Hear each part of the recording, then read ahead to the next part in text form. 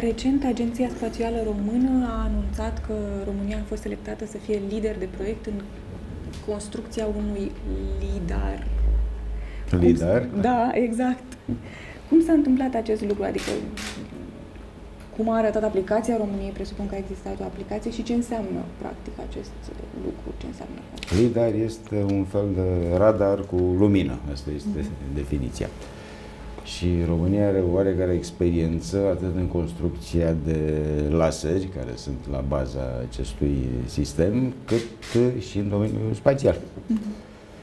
Și acest lucru nu s-a întâmplat, acest lucru a fost pregătit de câțiva ani în uh, programul Agenției Spațiale Române, care se numește STAR. Există o zonă care se numește uh, centre de competență. Există câteva astfel de centre. Uh, le pot enumera, pot enumera câteva. Unul este în nanosateliți, altul în așa numitul big data, altul în generarea de radiație, asemănătoare cu mediile planetare, alte medii decât Pământ. Unul din aceste centre este cel care se ocupă de sondaj atmosferic, adică sunt furnizate date despre atmosferă, date cu care se calibrează sateliții de observare a Terei, sateliții din ăștia un pic mai importanți, care, mă rog, nu funcționează numai pentru agricultură sau pentru monitorizare de dezastre, dar, pentru, dar și pentru să spunem, detecția de dioxid de carbon pentru probleme globale da, și alte astfel de aspecte. Centrul respectiv de la Măgurele a funcționat, a început să funcționeze atât printr-o finanțare europeană, cât și printr-o finanțare pe program național. Și e, Agenția Spațială Europeană, care este o organizație, hai să spunem, care face cea mai înaltă tehnologie în Europa, unde România a fost cel de-al doilea a fost stat uh, socialist care a fost admis după Cehia. Agenția Spațială Europeană a stabilit să se construiască în România uh, un uh, astfel de instrument care să fie aeroportat și care să fie unic nu numai în Europa, ci și în lume pentru acest lucru. Pentru realizarea acestei, uh, hai să spunem, performanțe, au concurat uh, nu numai uh, institutele de la Măgurele, în speță Institutul Național de Optoelectronică, cel care este semnatarul, coordonatorul proiectului, dar și Institutul Național de Cercetare Aerospațiale, care știe cum să amplaseze pe un avion un astfel de obiect, și uh, colaboratorii sunt uh, institute din Germania, din rețeaua Max Planck, adică uh, din când în când mai coordonează românii și sunt colaboratori Aha. și cei din vest. Asta voiam să vă spun. Este un proiect destul de mare, a fost așa de important decât Agenția Spațială Europeană a considerat că e necesar să chiar să genereze o festivitate. Da. Echipa română din cine e formată sau urmează să fie formată? Cum... Echipa română este formată, este formată mai de mult, este Institutul Național de Optoelectronică de la Măgurele. Nu are sens să menționez nume. Vedeți, în partea spațială noi avem o problemă, nu mai atașăm uh, nume, pentru că totul este efort colectiv, totul este efort colectiv mare. Uh-huh și colectiv și colaborare internațională, aproape nu mai spunem că, știu, Germania sau România sau Anglia au făcut un obiect, ci Agenția Spațială Europe, Europeană, misiunea respectivă, unde sunt parteneri și înșirăm 20 de state. Mm-hmm. Așa că n-aș menționa nume.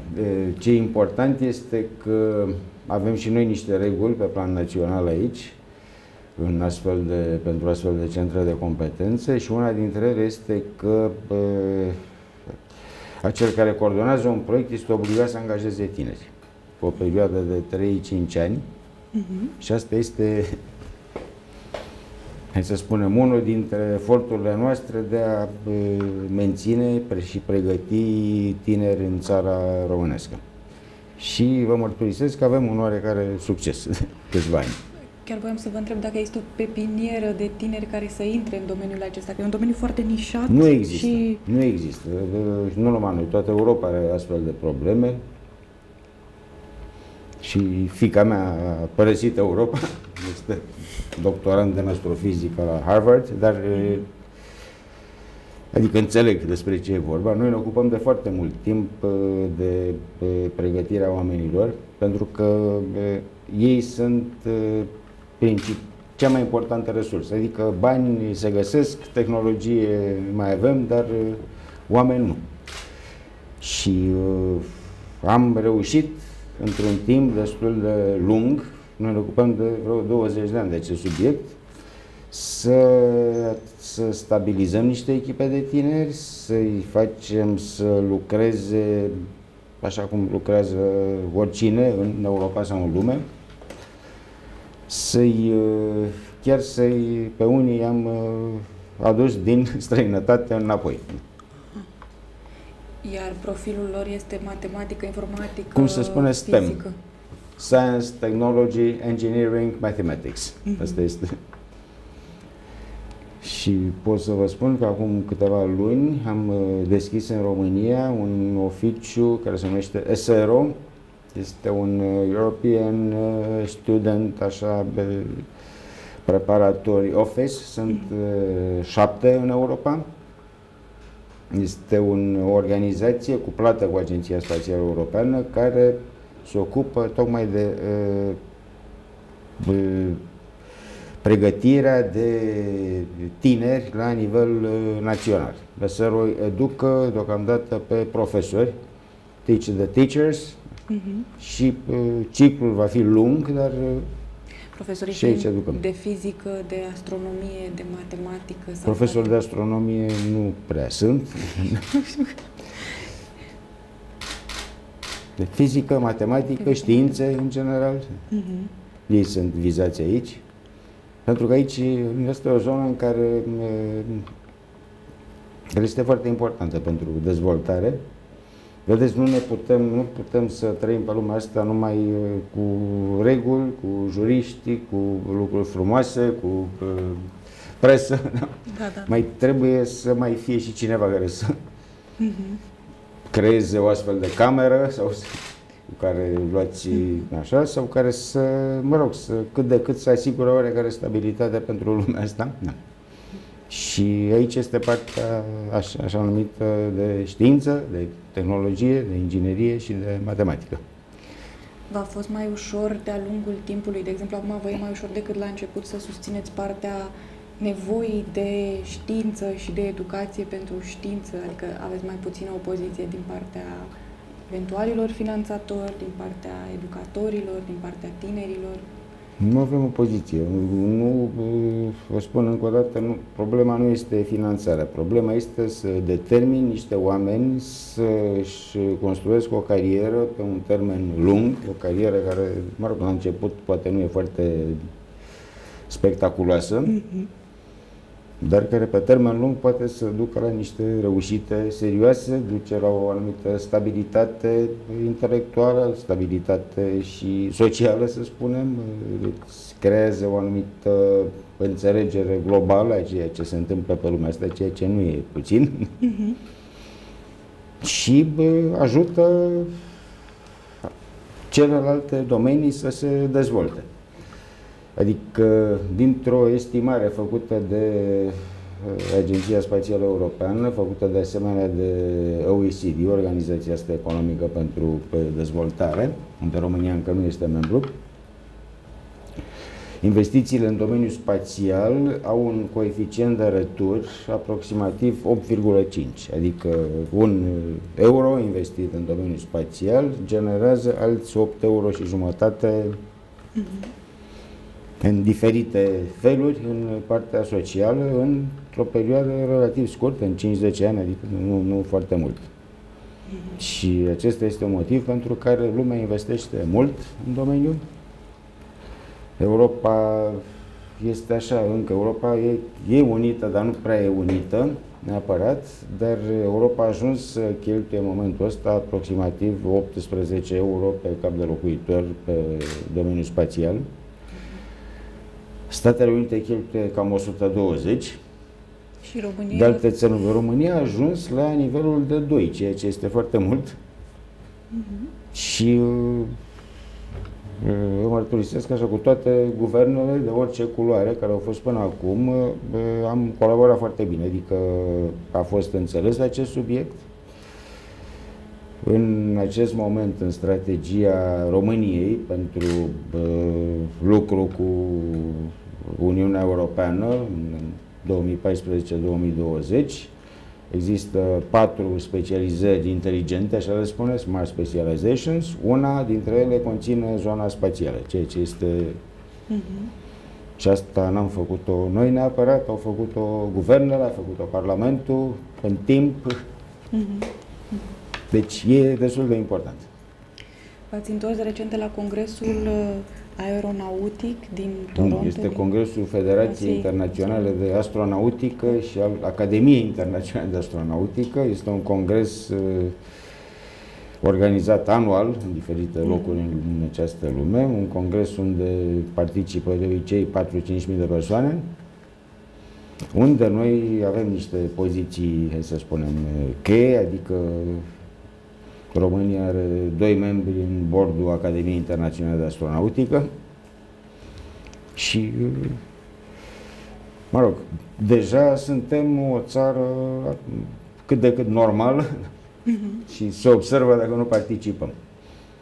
În acest, acest congres a fost destul de, hai să spunem, sofisticat, de, în primul rând au fost probleme politice, adică cercetătorii ruși și chinezi nu au primit viză în Canada okay. datorită restricțiilor recente politice. Da. Mă rog, cei la nivel mai înalt, cei la nivel uh, muncitorii, cum spunem noi, au fost acceptați.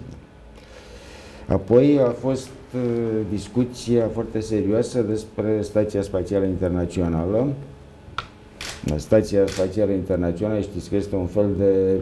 E un obiect care are cam 500 de tone și așa cam 100-100 metri pătrați. Se vede cu ochiul liber din când în când și este un exemplu extraordinar de cooperare internațională în domeniul spațial și în domeniul tehnologic în general. Și stația este împărțită între Statele Unite, Agenția Spațială Europeană, Japonia, Rusia. Statele Unite au decis să prelungească suportul pentru Stația Spațială Internațională până în anul 2024, o acțiune cu un efect foarte serios asupra, și asupra noastră.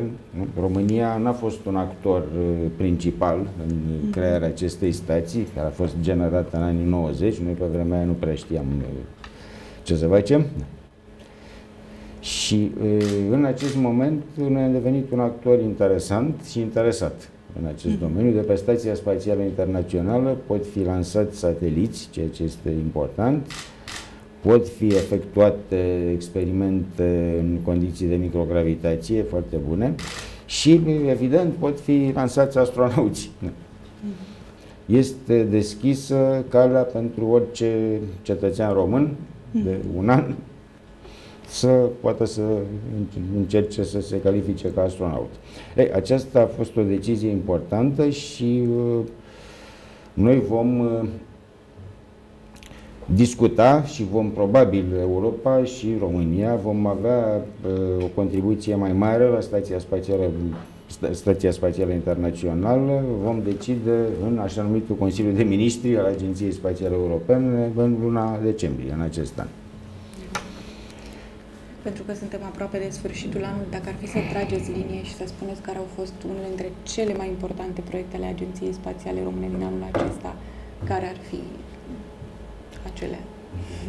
Ar fi centrele de excelență, ar fi inițierea a două misiuni de explorare spațială pe care Sper că le vom, vom reuși să le realizăm pe Agenția Spațială Europeană. Una este un uh, obiect care să exploreze Luna în, uh, cu tehnologie radar. Al doilea este un proiect ceva mai ambițios, care este la început, se numește AIDA. AIDA de la Asteroid. Ah, nu de la... Așa, Impact uh, Deflection Assessment este un proiect care intenționează să orbiteze în jurul unui asteroid dublu, să realizăm un astfel de orbiter și uh, să efectueze pentru prima dată în istoria umanității o uh, deflexie a unei dintre componentele acestui asteroid, adică să pur și simplu să-l ciocnească uh-huh. cu ceva, pe acea componentă din asteroid să se modifice, să-și modifice traiectoria și acesta va fi un, uh, hai să spunem, primul experiment real prin care sperăm să realizăm o protecție planetară. Mm-hmm. Planeta noastră e destul de potențial afectată de asteroizi, de comete. Mm-hmm.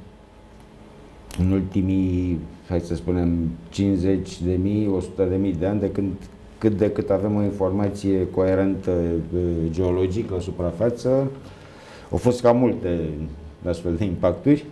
Mm-hmm și nu sunt uh, extraordinar de plăcute și pot să uh, cum să vă spun, să ne readucă la epoca de piatră. O astfel de. Există și în regulile de protecție civilă, căderi de obiecte cosmice, altele. Și atunci, uh, una din preocupările foarte serioase în domeniul spațial este să, hai să spunem, mai puțin asteroizi, să-i capturăm, să știu să scoatem diamante sau metale din ei, mm-hmm. mai puțin astronauți cu care să ne plimbăm și să ne facem reclamă, ci e, hai să încercăm să ne pregătim de astfel de posibilitate de deflexie. Asta se numește, este un program european care se numește Space Situational Awareness, cunoașterea situației spațiale, care presupune construcția unor sisteme care să detecteze înainte de un potențial impact asteroizi și în același timp să găsim o posibilitate de deflexie, cum se spune. Uh-huh. Asta voiam să vă spun cumva, adică lucrurile nu sunt, toate sunt frumoase, da? Așa, ce iar este cert este că, mă rog, noi am avut șansa să trăim așa într-o perioadă de schimbări foarte rapide, uh-huh am uh, început cu primii sateliți artificiali ai Pământului, cu primii cosmonauți. Acum suntem în situația în care uh, avem dezvoltate tehnologii serioase, dar uh, în situația asta avem o responsabilitate foarte mare pentru ce se întâmplă în continuare. Și Agenția Spațială Română este o organizație care știe aceste lucruri. Adică este o organizație de nivel, hai să spunem, mondial. Mm-hmm. Responsabilitatea aceasta se împarte mondial sau fiecare țară are mai multă sau mai puțină? Se cam împarte mondial. Vedeți,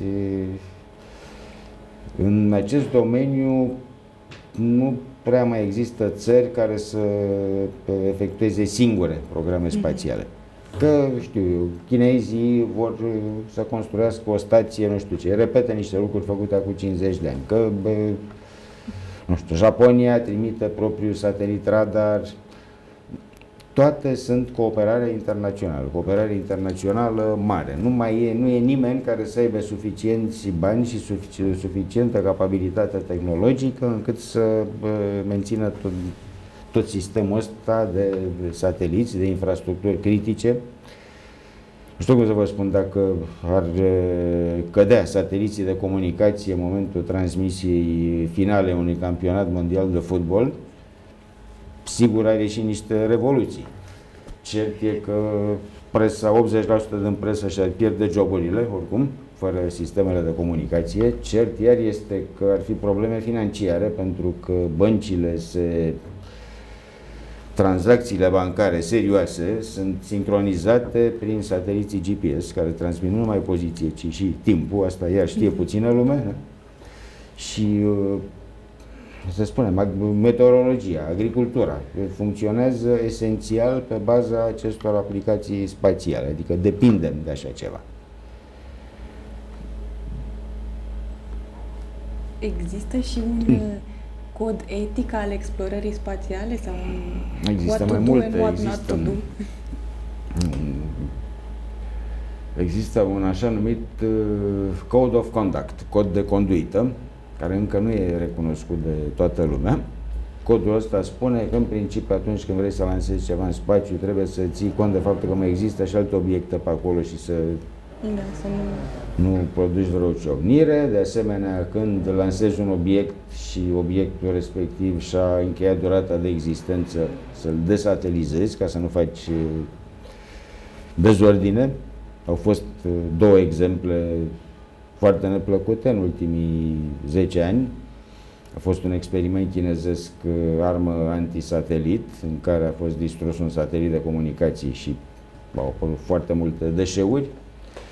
Apoi a fost o ciocnire între un satelit rusesc și un satelit american, un satelit Iridium, o ciocnire care nu a, între doi sateliți care erau scoși din uz și care a produs multe deșeuri. A fost filmul Gravity, făcut acum un an, foarte bun, cu foarte mici excepții, totul a fost bine documentat și filmul a fost uh, lansat uh, de șef de agenții spațiale, de astronauți în diferite locuri din lume. Da. Și uh, avem o astfel de dependență critică de sisteme. Tensiunile dintre țări pe Pământ se traduc oarecum și între agențiile spațiale în spațiu, adică, nu știu, sau la discuții, la congrese? Sigur, sau la... acum, adică... vedeți, zona științifică, știința e, nu are uh-huh. culoare politică. Și în domeniul spațial, în zona științifică, lucrurile se fac în comunitatea globală. În acest an, Congresul Mare este un congres care, partea științifică în domeniul spațial, este o organizație numită COSPAR, Committee on Space Research, care organizează din 2 în 2 ani un congres. Anul acesta, congresul s-a derulat la Moscova, în august. Mă rog, a fost planificat cu câțiva ani înainte și uh, cu toate că era perioada fierbinte de conflicte cu Rusia, Crimea, Ucraina, cercetătorii americani au primit ok de la NASA să participe acolo. Spun, știința este știință. Altfel, uh, lucrurile sunt mai complicate, adică politica apare atât uh, din punct de vedere militar aici, partea militară este esențială în domeniul spațial, cât și din punct de vedere comercial. Sateliți de comunicație, lansări, lansatoare, toate problemele acestea sunt uh, business, este industrie. Orice politician trebuie să susțină industria națională, Agenția Spațială Română se ocupă și de monitorizarea în caz de dezastre în țară. Cum a evoluat acest lucru de-a lungul timpului din 2009, Hmm, prima monitorizare de inundație am efectuat-o în 2005. Uh-huh. Mhm. Noi am început la nivel, să spunem, politic această acțiune în cadrul Organizației Națiunilor Unite în 1999 a fost, uh, s-a organizat a treia conferință mondială pentru spațiu în cadrul Națiunilor Unite, Unispace, așa a spus, și bă, noi am organizat conferința regională pentru Europa. Aici a fost un succes al României atunci. Și în această conferință Unispace am, uh, noi am propus să se realizeze un sistem global pentru monitorizarea dezastrelor naturale utilizând tehnologii spațiale. Încet, încet, încet. Mm. În momentul ăsta există două sisteme. Unul este internațional, este așa numitul charter pentru dezastre utilizând tehnici spațiale și al doilea este european, este un uh, proiect uh, important în Europa, s-a numit până acum un an uh, GMES, Monitorizare Globală pentru Spațiu și Securitate, acum a primit numele Copernicus Și uh, noi suntem uh, unii dintre, hai să spunem, uh, structura din Europa de Est care este mm, lider în uh, aplicații în acest uh, domeniu. Mhm. Și pot să vă spun că avem un oarecare succes, dacă se poate spune așa. Vedeți, când e un inundație, să spunem. Sunt nori, nu poți să vezi nimic, nici din avion, vezi din satelit cu radar.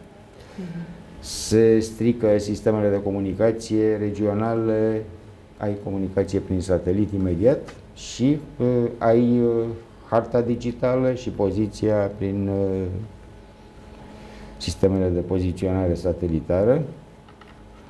Așa că aceste lucruri sunt de neînlocuit. Așa și mai e și un canal de comunicație, cum spunem noi, un SOS, un Search and Rescue, Mhm. care tot uh, pe satelit se bazează. Și aici uh, noi am contribuit, să spunem, nu numai la, m, hai să spunem, la asigurarea de asistență pe termen foarte scurt, dar și la ceea ce e mai greu, la identificarea zonelor afectate, identificarea pagubelor. Noi suntem în stare să măsurăm cu precizie foarte bună din satelit cât a fost inundat în acea adâncime, Mhm. ce a fost afectat, cât sunt uh, lucrurile astea și toate deodată. Unde să pui niște pompe dacă vrei să faci o, uh, mă rog, să golești o, o zonă inundată și tot așa. Și ultima întrebare. Construcția lidarului care a fost anunțată uh, este estimată la 2 milioane de euro. Nu, De este unde- estimată cam pe la 3,5 milioane 3,5 de euro. milioane de euro.